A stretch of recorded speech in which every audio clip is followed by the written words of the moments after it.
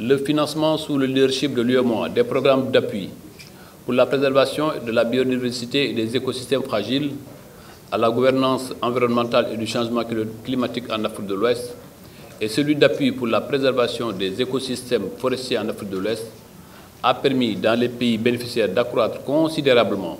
la résilience au changement climatique des écosystèmes et des populations. Mesdames, Messieurs les ministres, Mesdames, Messieurs les experts, les travaux des experts ont permis de partager les expériences issues de ces initiatives régionales afin d'évoluer et d'approuver au besoin les programmes globaux. Ils ont également permis d'examiner en profondeur les textes sur les gestions des zones marines et coacher dans la perspective d'une meilleure harmonisation et coordination de la gestion de ces écosystèmes de plus en plus fragiles. Dans les pays de l'Afrique de l'Ouest où les ressources pour la conservation de la biodiversité sont souvent limitées, la question du financement de la gestion des aires protégées a toujours préoccupé les plus hautes autorités. Ainsi, l'occasion nous est donnée ce matin, à travers cette présente rencontre de haut niveau, d'examiner en profondeur la problématique de la privatisation et de la gestion des aires protégées en Afrique de l'Ouest. Sous ce rapport, des expériences de partenariat public-privé pourront être partagées afin d'apprécier la pertinence et la faisabilité dans cette perspective, les expériences d'African Pax au Bénin, de la Fondation des savannes ouest-africaines, pourraient servir de modèle d'appréciation et d'inspiration pour donner des pistes de réflexion et de solutions à la lancinante problématique du financement des aires protégées. Euh, il était important que la commission de l'UMOA, avec ses partenaires techniques et financiers, mette en place un certain nombre d'initiatives fortes, au titre desquelles il convient de noter le projet WACA, financé en grande partie par la Banque mondiale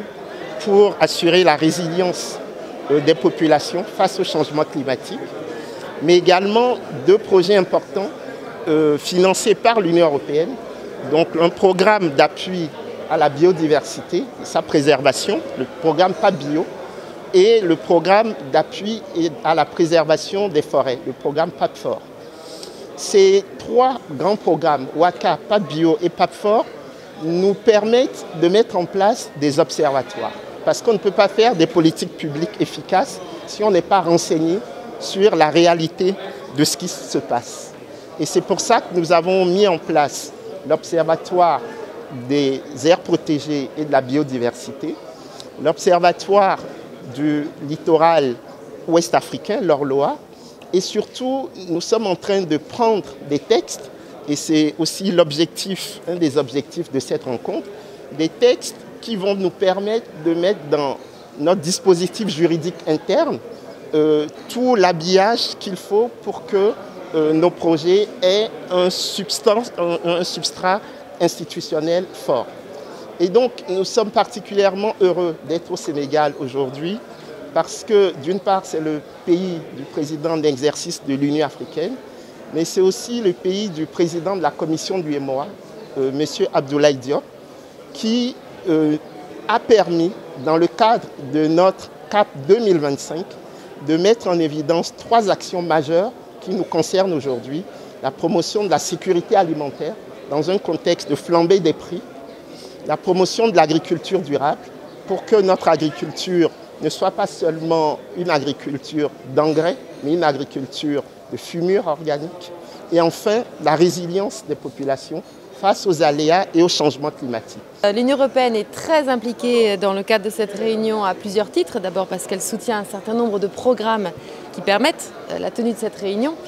Mais au-delà de ça, bien sûr, parce que euh, l'agenda environnemental, en tant qu'un agenda indissociable de l'agenda de résilience plus généralement, particulièrement important ces temps-ci, est évidemment au cœur de nos priorités.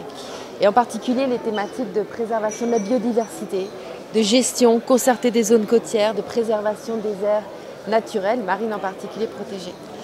L'autre raison pour laquelle nous sommes très impliqués, c'est qu'aujourd'hui, il y a 16 pays représentés dans cette réunion de très haut niveau, que c'est un concert de, bonne volonté politique